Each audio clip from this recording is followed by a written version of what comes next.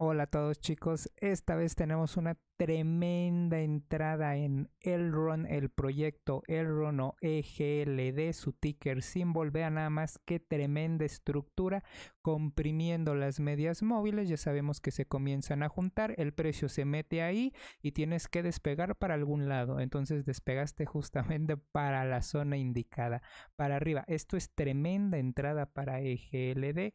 Eh, aquí las zonas de stop loss son debajo de la media móvil de las 50 sesiones y debajo de esta mecha que tenemos aquí que, la, que lo voy a hacer más grande para que se vea debajo de esta mecha que tenemos deberíamos tener nuestro stop loss y las zonas de take profit son las siguientes.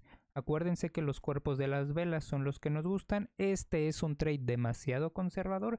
Sinceramente, ya con la situación del mercado, creo que podemos extender ese take profit justamente a la zona de los 265.17, que sería en este cuerpo de la vela, y la extensión de ese take profit en caso de que el precio lleve demasiada fuerza sería la zona de los 279.04 serían esas zonas de, de, take profit. Para largo plazo vamos a ver a largo plazo si nos vamos tranquilos y ignoramos estas zonas de take profit y dejamos que el precio se vaya ok recordemos que estas son para trades y inversión a largo plazo realmente no nos importa mucho.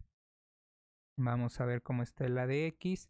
Vemos que la tendencia alcista en el ADX ya se está poniendo por encima de los 20 puntos y el ADX se encuentra en la zona baja. Curiosamente el ADX está en la zona baja, pero vemos que el precio para aquellos que utilizan otro tipo de análisis técnico como las triangulaciones de este tipo,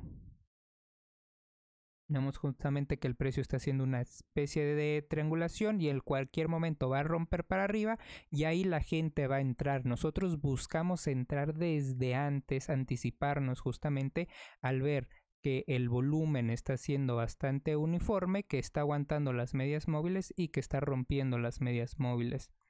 Eh, por lo tanto, independientemente de que estamos teniendo lo que se conoce como una cuña alcista, eh, vemos que el ADX y la fuerza de la tendencia apenas está comenzando a dar la vuelta para subir, lo que es una indicación que Elrond seguramente le queda hacer unas de estas subiditas que mucho le gustan hacer a este proyecto y que las va a hacer en un futuro y que podríamos estar tranquilos en esa inversión a largo plazo de que Elrond le falta muchísimo jugo que dar.